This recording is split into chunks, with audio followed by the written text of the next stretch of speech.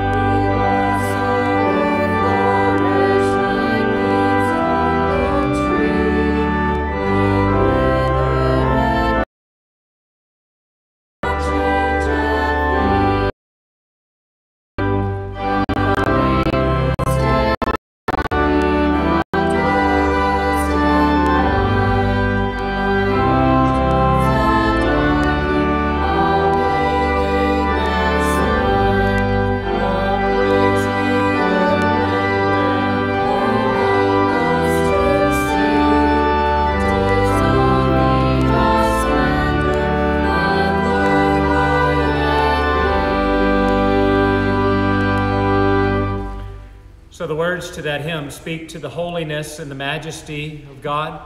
And in the face of a holy God, we are made aware of our shortcomings. We're made aware of our sinfulness, the ways that we come up short of God's will and God's purpose for our lives.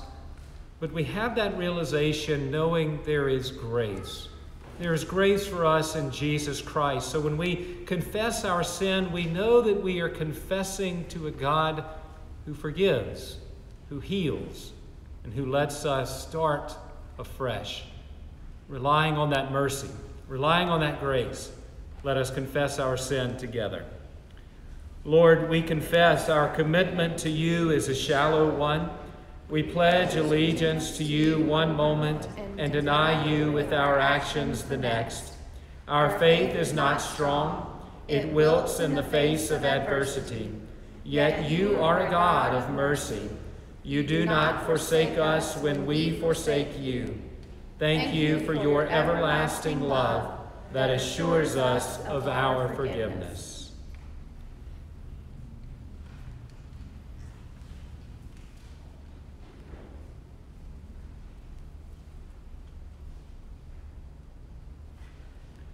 Thankfully, it's not our merit, it's not our ability that assures us of our forgiveness. It is, as we just prayed, it is the mercy of the Lord that is from everlasting to everlasting that assures us of our forgiveness. Friends, that mercy is great, and it's that mercy that enables me to declare to you today with full assurance that we are forgiven. Amen.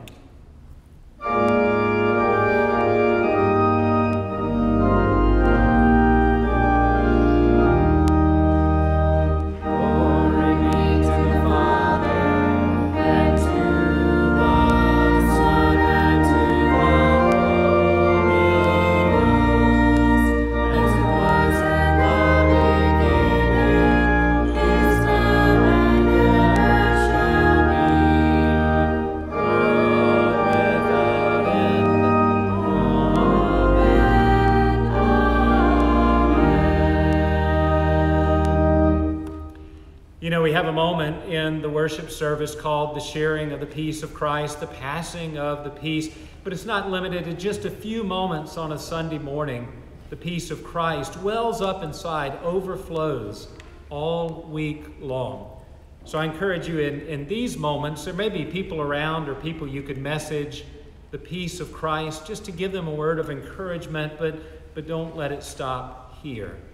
God brings people to mind all the time that may need a word of encouragement, and I invite you to remember them, to share the peace of Christ in these moments and throughout the week. Well, I don't know if you can tell yet, but there are other people in the room with us today, and Miss Janie's going to come and tell us what's going on in the sanctuary and introduce you to some new and young disciples here at Westminster. As our friends come up and find their places, I'm going to tell you a little bit about who we have with us today. These are students that are in our worship prep class. Uh, what we do in worship prep is basically help these students transition from our children's church and we church programs into full-time worship with their families. Um, it's especially exciting this week to be able to do um, this introduction following a baptism from last week because in that baptism, we made vows. We together as a church and as families, we made vows that we will help raise the children in the church and help their faith and their, um, their, their faith grow. And so that's part of what we're doing here today. As a part of the worship prep class, we um, like to present all of the students with a new Bible. Um, a lot of times Kids get Bibles when they're babies, and then we like to give them one now as they enter into this next step in their faith journey um, and join us in worship full time. So we're going to introduce you to our friends now. This is Jarrell Jones. And we have Sophia Teetsort and Bella and Harper Lewandowski our long and faithful teacher, Miss Deeby. We have Kate and Haley, Lucy Span, Audrey Leitner, and Cora Parrish. And now, while all of our friends are in place, we're going to pray all together, okay? So, dear God, dear God we love you. We love you. And we thank you. And we thank you for the opportunity for the opportunity to learn and to worship and to worship you. you. Amen. Amen.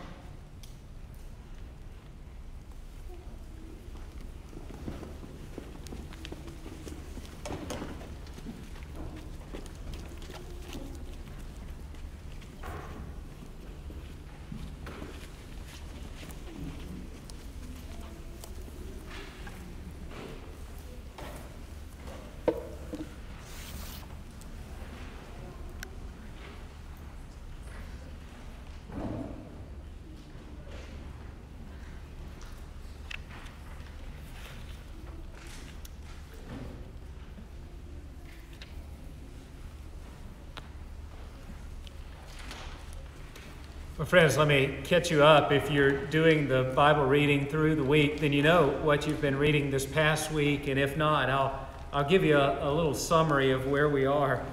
Uh, the beginning of the week, we saw God come to Moses at the burning bush and say, Moses, you're my guy. You're the one that's going to go to Pharaoh with the message, let my people go.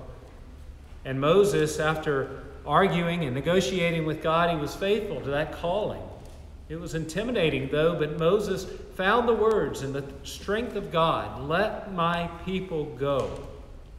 And you remember the, the ten plagues because of the hardening of Pharaoh's heart. But eventually, Pharaoh lets his people go.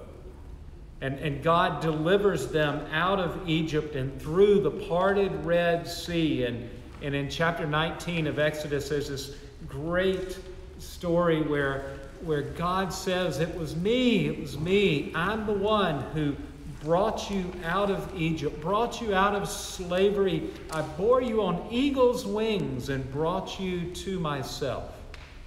And so, where we pick up today in Exodus chapter 20, God's people, liberated, set free, they are camped out at the base of Mount Sinai. And Moses is being instructed by God to go up to the top of the mountain to meet with God face to face. Beginning in Exodus chapter 20, verse 1. Listen, for this is the word of the Lord. And God spoke these words, saying, I am the Lord your God who brought you out of the land of Egypt, out of the house of slavery. You shall have no other gods before me. You shall not make for yourself a carved image or any likeness of anything that is in heaven above, or that is in the earth beneath, or that is in the water under the earth. You shall not bow down to them or serve them, for I am the Lord your God, and I am a jealous God, visiting the iniquity of the fathers on their children to the third and fourth generation of those who hate me, but showing steadfast love to thousands of those who love me and keep my commandments. You shall not take the name of the Lord your God in vain, for the Lord will not hold him guiltless who takes his name in vain. Remember the Sabbath day to keep it holy. Six days you shall labor and do all your work, but the seventh day is a Sabbath to the Lord your God. On it you shall not do any work, you or your son or your daughter or your male servant or your female servant or your livestock or the sojourner who is within your gates for in six days the Lord made heaven and earth, the sea and all that is in them, and rested on the seventh day. Therefore the Lord blessed the Sabbath day and made it holy. Honor your father and mother, that your days may be long in the land that the Lord your God is giving you. You shall not murder. You shall not commit adultery. You shall not steal. You shall not bear false witness against your neighbor. You shall not covet your neighbor's house. You shall not covet your neighbor's wife, or his male servant, or his female servant, or his ox, or his donkey, or anything that is your neighbor's. Now, when the people saw the thunder, and the flashes of lightning, and the sound of the trumpet, and the mountain smoking far off, and said to Moses, You speak to Do not let God speak to us lest we die. Moses said to the people, Do not fear, for God has come to test you, that the fear of him may be before you, that you may not sin. The people stood far off while Moses drew near to the thick darkness where God was. This is the word of the Lord. Thanks be to God. What I'd like to do today is to give a little bit of explanation about the meanings of the Ten Commandments, but spend a little bit more time understanding the place of the Ten Commandments for us today. And to start with a little bit of creation theology. You know, Scripture tells us that we are created in the image of God. Human beings, male and female, created in the image of God. And theologians through the years have tried to figure out what does that mean? What does it mean to be created in the image of God? And, I want to tell you what I think it is. I, think because God exists in three persons, a Trinity, Father, Son, and Holy Spirit, God Himself is a relationship. And so to be created in the image of God means that we are created for relationships. We are created, put on this earth, and we're in relationships. And when then those relationships are healthy, we bear forth the image of God. If you look in Genesis, you can find descriptions of those relationships. There are four primary relationships that we are in. We're in this relationship with God because He's created us. We're in this relationship with each other because we're here together. We're in a relationship with ourselves. And we're in a relationship with the created order. You can see it back in the Garden of Eden, those relationships. Particularly, you can see it when sin enters into the world with the fall those relationships fall apart. Adam and Eve take the fruit in the middle of the garden and they, they eat it. The shadow of death falls upon them, predictably. Well, you see at that moment that instead of being in a right relationship with God, they're afraid of God, so they hide. The relationship with God is, is broken, subject to the curse. And then when God does find them and say, What's going on? Why are you covered up with fig leaves? Their answer is, We were ashamed. They experience shame because the relationship that they have with the self is crumbled and is subject to the enemy. And God, quizzing the man, says, Hey, Adam, what happened? Why'd you eat the fruit? And, and Adam says, Do you remember? The woman you gave me. He blames it on her. It's the first time that you see a division between the man and the woman. It's the first time you see a division in a horizontal relationship, relationship with others, subject to the enemy. And then, as part of the curse, remember that? The thorns and thistles that will now come forth from the earth, and, and pain and childbearing. You see a curse pronounced on the relationship that human beings have with the created order. Those relationships, as a result of the fall, are subject to the enemy of death. And then, all through the Old Testament, you get to see God's people struggling with that curse. They're struggling with the enemy of death. Scripture names death is our most formidable enemy, our worst enemy. In fact, I believe it's a description of why the world is the way that it is today. Why, for instance, are there so many different religions, different people who have different paths to God? I think it's because we're ultimately afraid. We're hiding. We're trying to find some way that we can be pleasing in the sight of a higher being. Our relationship with God is subject to the enemy of death? Or, or why, for instance, on a small scale, do relationships fall apart? On a large scale, nation takes up sword against nation. It's because the relationship we have with others is, is crumbling and subject to the enemy that we face. Or what about the relationship with self? Do, do you feel like you have an accurate opinion of yourself? If you're like me, then some days you think you're the greatest thing in the world, and some days, oh, you just wonder why God wasted the time. We don't even know what to think about ourselves because that relationship is subject to the enemy of death or the created order.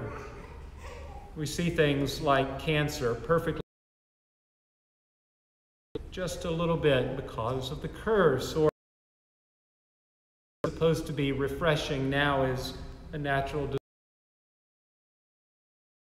relationship subject to the curse.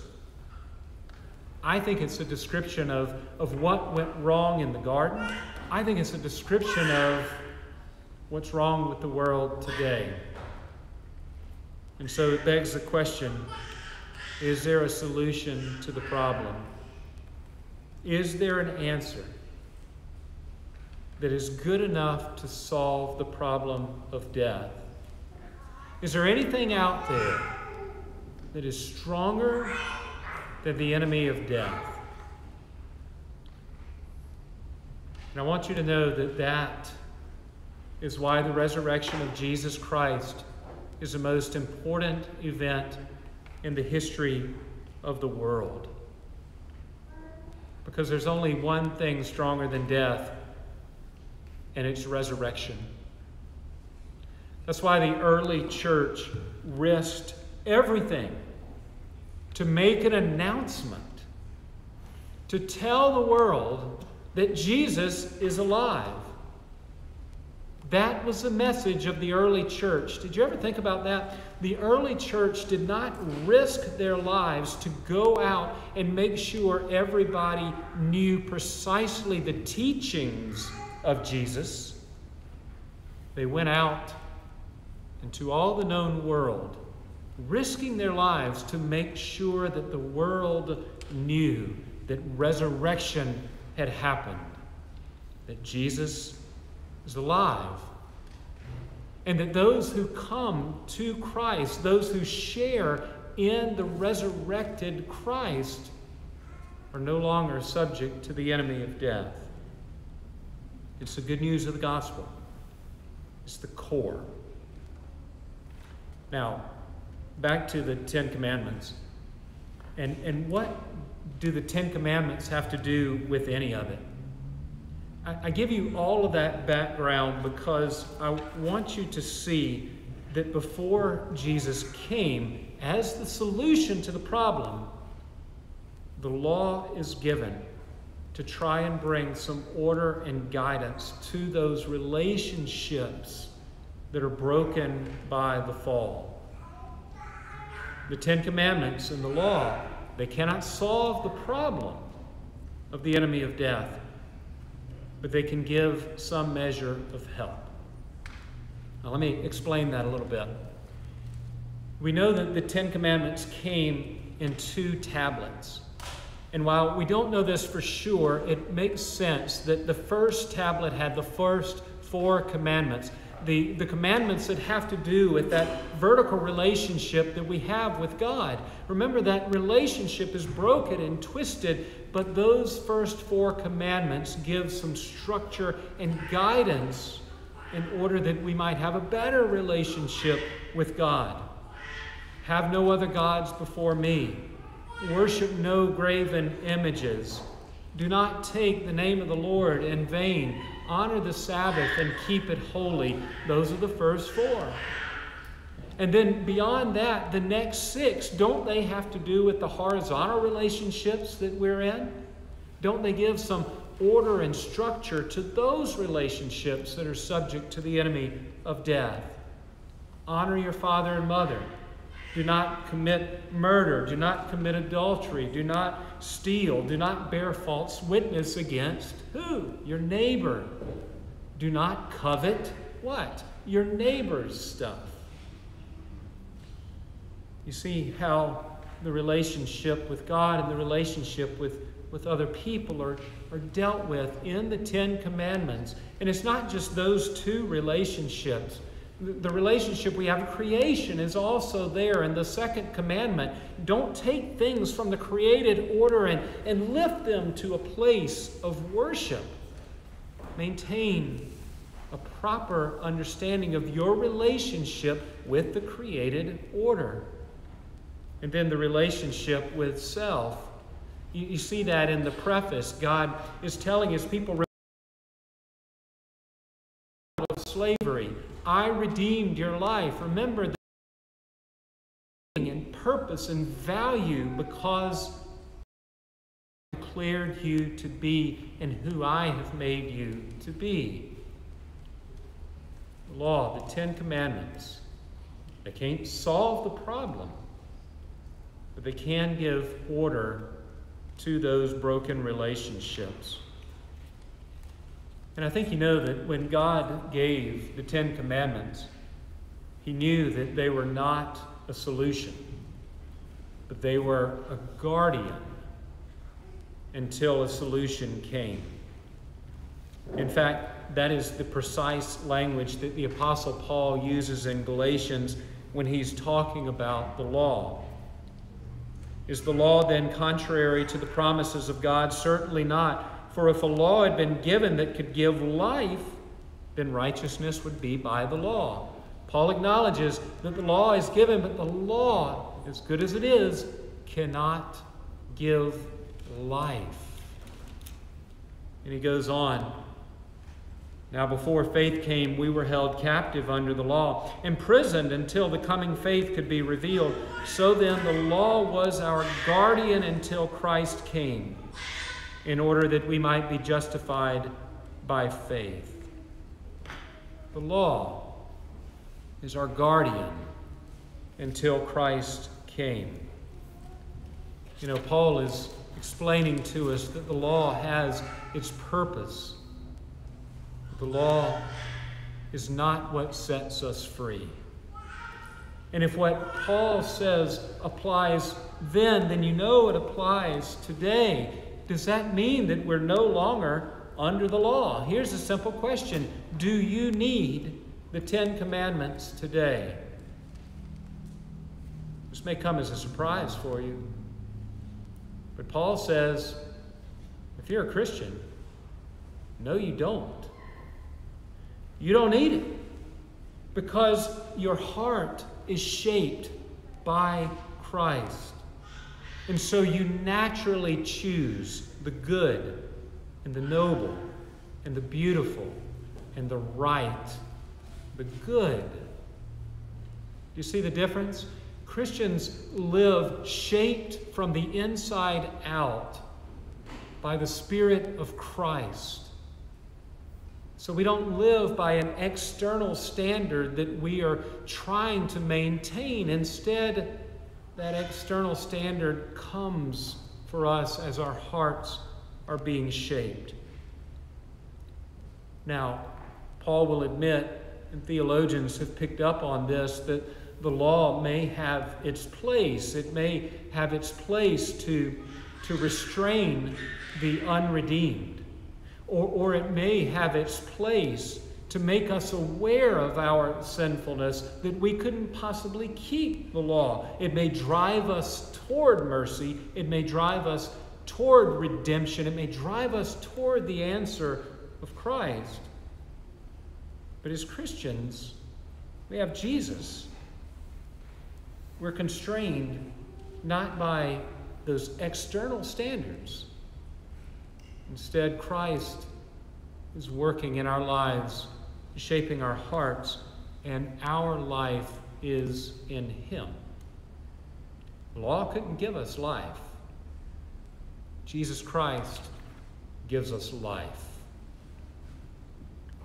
And so today I want to lift up the Ten Commandments to you, but even more, I want to lift up Jesus. And you may find yourself as one who struggles with the enemy that I've described. You may find yourself as one who struggles with those relationships a relationship with God, with other people, a relationship with yourself, with the created order. And, and there may be times when you're low in that struggle. There may be times when the struggle is so great you don't know what to do. And I want to suggest to you today that the law, which is trying harder, is not the solution. What that's going to do for you is it's going to drive you further down in a hole because as human beings, we can't live up to it. If you're someone who's struggling with relationships that I've described, I want you to know that the law may give you some, some order, but it cannot give you life. That law that is given is a guardian that points us toward Christ. And in Christ, there is life that overcomes the enemy of death. In Christ, we are made alive to God. We are made alive to each. We are made alive to ourselves. We are made alive to the created order. The only hope we have is in Christ who has overcome the very enemy that we face. Life is in Jesus. May God be praised now and forevermore. Amen. Well, friends, our song of response that you're either singing at home or you're listening to and meditating on the words is lift high the cross. It's what we do in the face of the enemies we face. We're lifting up the name of Jesus because victory is found in him. If you're able, why don't you stand?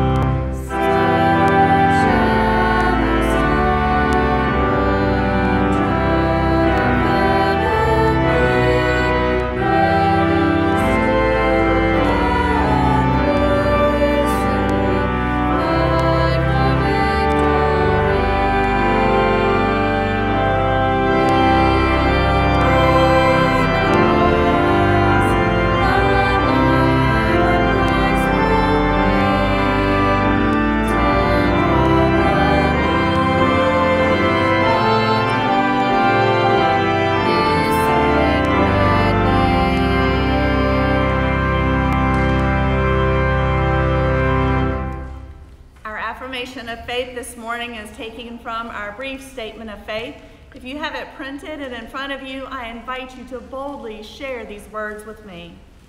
We trust in God, whom Jesus called Abba Father, and sovereign love the world good, and makes everyone image, male and female, of every race and live as one community.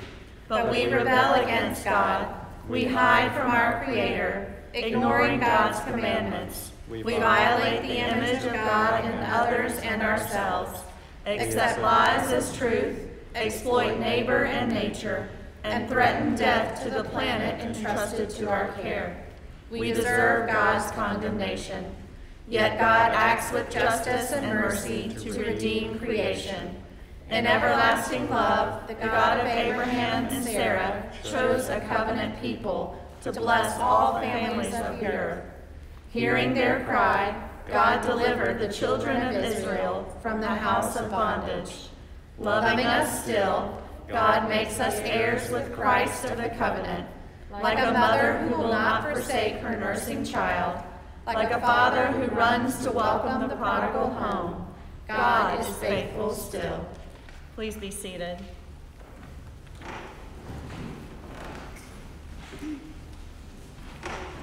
Friends, let us turn to God in prayer. God, you created us, each of us, in your image. You created us out of love and compassion. You created us to be unique and different so that each of us could be called together to be your church, to share the gifts to which you have given us. Help us not to hide from you. Help us to be bold.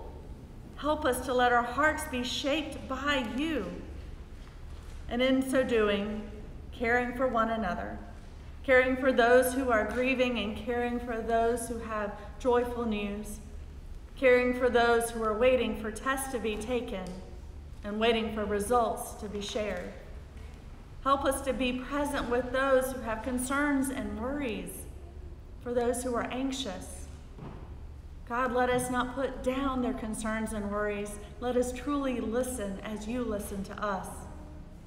Let us not be judgmental. Let us be instead a light for their path as you are our light.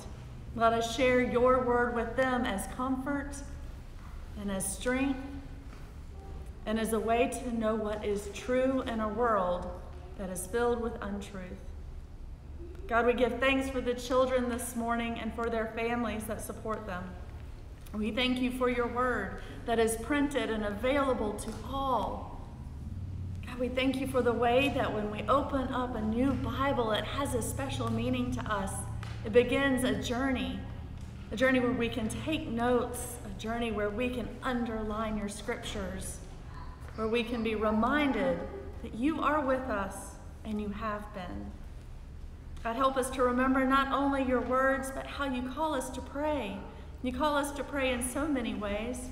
We pray together in worship and we pray together at home. We pray silently with our hands clenched tightly. Sometimes we kneel by our bedside and we pray. Sometimes we write our prayers out. Sometimes we send them. Sometimes we see a prayer that someone else has put together, and it is like they knew our own hearts. God, so help us to continue to pray and to be bold in our prayers, and to share those prayers not only with you, but to invite others to pray with us. Thank you, God, for sharing your prayer with us, a prayer that we can pray today together. Our Father, who art in heaven, hallowed be thy name. Thy kingdom come, thy will be done on earth as it is in heaven. Give us this day our daily bread, and forgive us our debts as we forgive our debtors. And lead us not into temptation, but deliver us from evil. And the glory forever. Amen.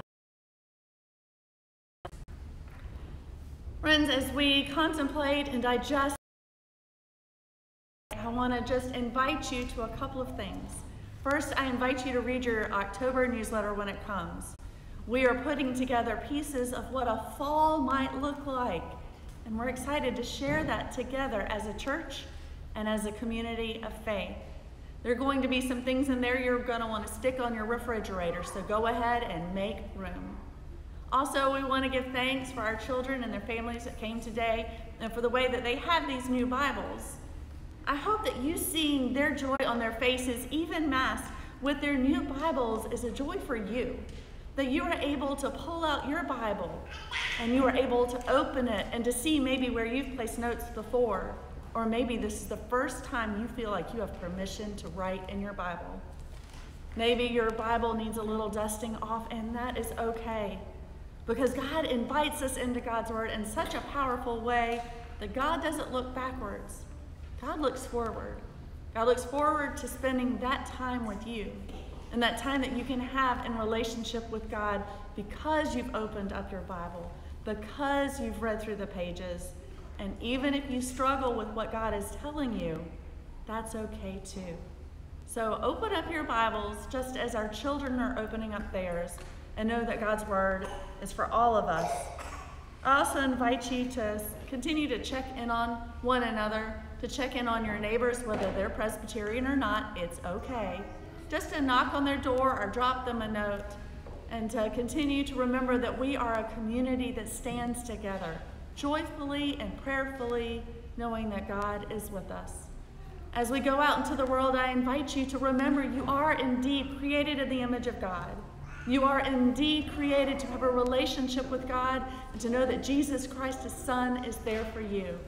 And to go out into the world and share these things with others, to say, You are a child of God, just as I am a child of God. We are related through the church of Jesus Christ. Go forward and share that light with all.